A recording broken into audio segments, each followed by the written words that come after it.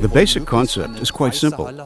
We prefer a white hall, a very bright hall, plain, simple, clearly structured.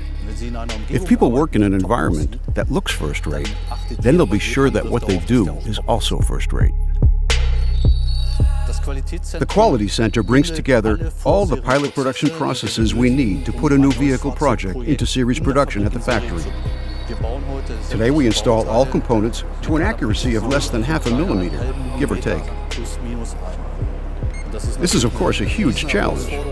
Some may ask, why do you do it so precisely? In the end, it's the customer's feeling that counts. The customer who receives his car is just happy and clearly got more than what he might have expected. That's when we've done the job right. Here we can have a look at it for the very first time. Do the parts fit together? Can the controls be reached?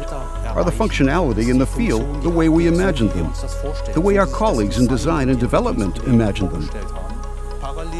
Parallel to these master jig and cubing stations, we've also integrated a pilot hall into the quality center. Today we're able to build two construction stage vehicles per day here. This means we deliver a painted body and that it's constructed to the point of filling in an assembly line, which is of course operated manually. Then the vehicle is driven out of the hall on its own power. High quality work, and I have to say that bringing such a vehicle into series production is a team sport. Team sport. Typical for Porsche.